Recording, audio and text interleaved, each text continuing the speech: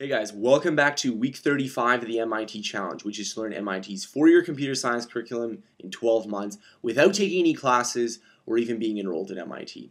So I just finished the 24th class of the MIT Challenge. So there's 33 in total, which means I'm down to the final nine classes. Now, I finished four since the last update, and I've been working on some of them before, so I didn't do all of them in the last three weeks, but I've been working on these classes and I finished the exams in the last three weeks between this update and the last one.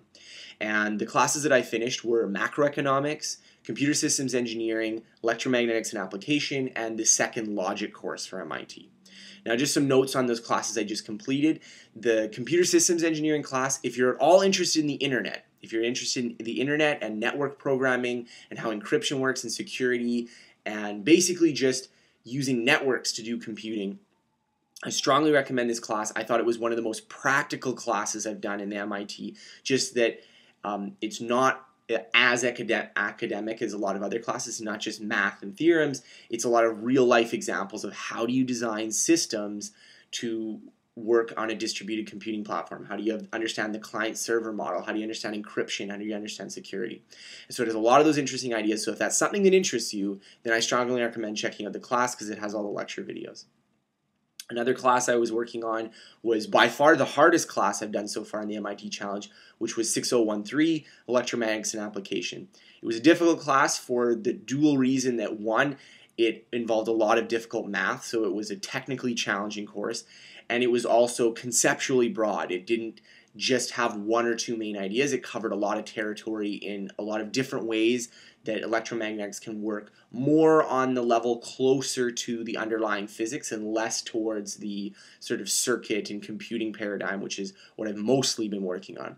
So it was a challenging class, and I passed it just on the nose, which is not how I like to pass a class. I usually like to get between 70 and uh, 80 percent to feel comfortable with how I did in a, an exam in the MIT challenge, considering I'm doing them so quickly.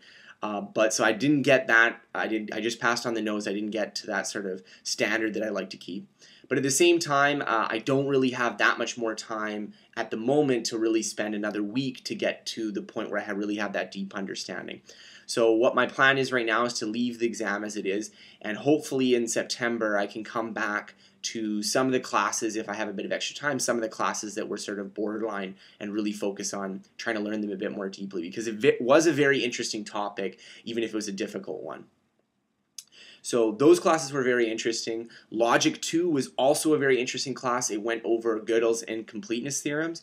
So if you've never heard of these before, they're pretty much the most profound and astounding uh, theorems or truths to come out of logic, and I would even say mathematics, because what they're doing is they're systems of theorems and proofs basically showing what can be known the, the sort of extents on what is true and what can be known and, and sort of the contradictions and paradoxes that come up when you think about arithmetic or when you think about logic too closely.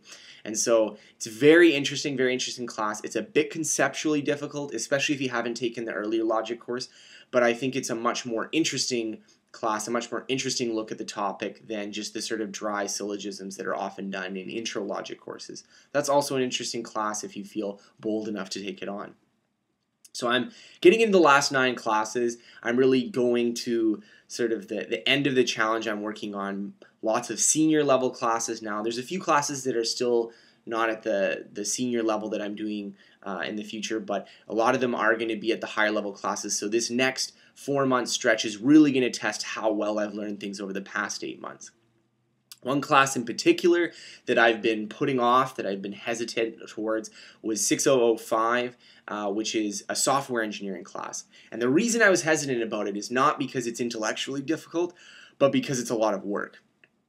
It doesn't have any exams, and it doesn't have any just sort of pencil and paper type assignments, or if it does, they're very minor. They're not a big part of the course. Basically, the entire class is designing small software projects and they're normally done in groups of three people and there's three projects but of course i'm not in a group so i have to do these myself. And i'd been really hesitating about how i would approach this and i think the best strategy is aside from i just have to do it is to spread it out over the next about two two and a half months instead of trying to do it all in a short period of time. And that way try to do as many other classes concurrently with this one so that i can still make progress on it but I'll also know that I won't be investing too much time in this class so that it means that I might not be able to finish all the other classes on time. So I'm working on that class right now. It'll be interesting. It'll be a much more practical example because it's not just how do you learn faster because a lot of the ideas are not uh, too intellectually demanding, but rather how do you actually program faster? How do you actually go through the debugging process, the design process, uh, to try to eliminate the most amount of time? Now, obviously, the experienced programmers who are listening to this channel, uh, experience is the best way to program more quickly. So that's something that comes with time, and that's something that I have done programming before, so that gives me a little bit of an edge, but obviously not the same amount as someone who's been working on it for a decade or two decades.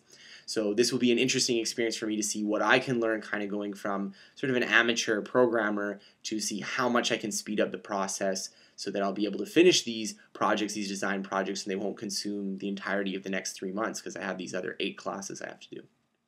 So thanks for following the MIT Challenge. I'll be updating you guys in the coming weeks on the progress on this software class and on the other eight courses which represent the final nine classes that I'm going to be doing for the MIT Challenge. So thanks for following.